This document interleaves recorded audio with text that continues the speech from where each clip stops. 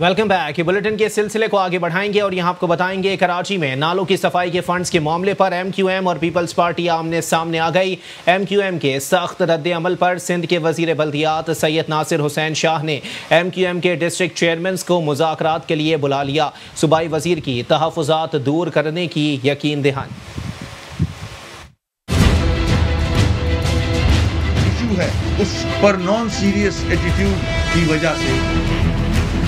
आज तक 2018 में जो नाले साफ़ हुए थे वो उससे कई गुना और चौक हो चुके हैं भर चुके हैं कचरे से और से। की फरहमी के बगैर बल्दिया कराची और डिस्ट्रिक्ट कॉरपोरेशन बरसाती नालों की सफ़ाई नहीं हुकूमत सिंध ने पिछला चार सालों में सिर्फ़ एक बार नाला सफ़ाई के हवाले से मोदी वाटर कमीशन की हिदायत पर एक एक करोड़ रुपए तमाम अजला को दिए इलाके में जब मैं इसका डेवलपमेंट का काम करा सकता हूँ तो अलहमदिल्ला मैं अपनी यूनिवर्सिटियों के इलाकों में जाकर मैं अपने छोटे नाले साफ़ कर रहा हूँ। पर बेसिकली जब तक के के नाले साफ़ नहीं होंगे, बड़े नाले साफ़ नहीं होंगे, जब तक सिंध गवर्नमेंट हमें फंड नहीं देगी, जब तक ये नाले साफ़ नहीं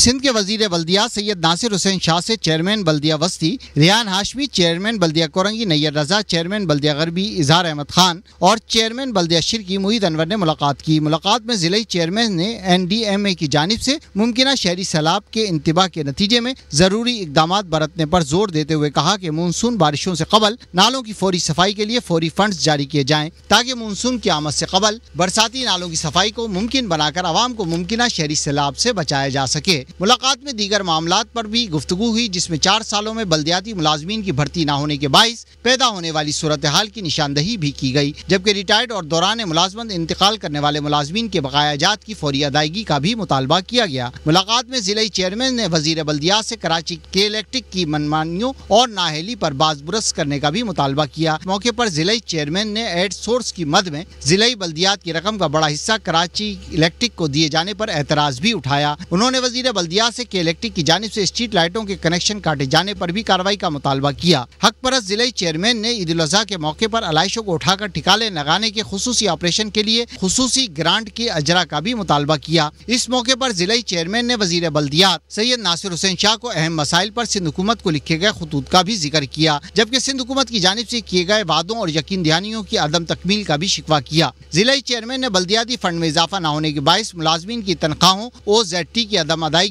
और दरपेश मुश्किल को भी वज़ीर बल्दियात के सामने रखा। इस मौके पर वज़ीर बल्दियात सैयद नासिर हुसैन शाह ने मसाइल के हल के लिए एक बार फिर यकीन दहानी कराते हुए कहा की ज़िले बल्दियात के तमाम जायज़ मुतालबात को फौरी हल करने के लिए इकदाम उठाए जाएँगे। इस मौके पर वज़ीर बल्दियात सैयद नासिर हुसैन शाह ने ज़िले चेयरमैन से आइंदा बल्दियाती इंतबात से मुतालिक तजावीज़ भी तलब कर ली गई। मुलाकात में दीगर अहम अवामी खदमात से मुतालिक उमूर पर भी तफसीली गुफ्तु हुई।